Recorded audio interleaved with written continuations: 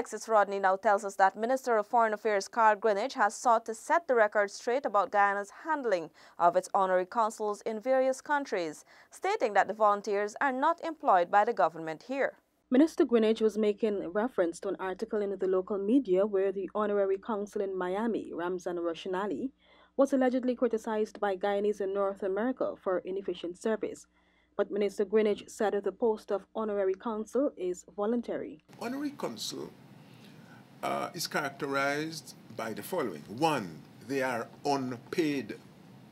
As regards their labor, they are unpaid. Minister Greenidge said that the situation is not peculiar to Guyana or any other developing country.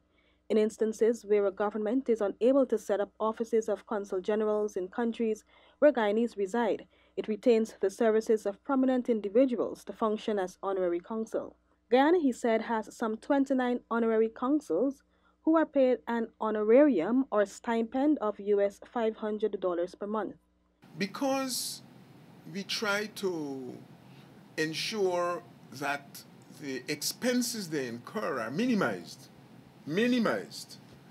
They are chosen because they have a capacity to save us money. In other words, you choose either a businessman, somebody with premises already and staff, or you choose a professional. Alexis Rodney for InfoHub.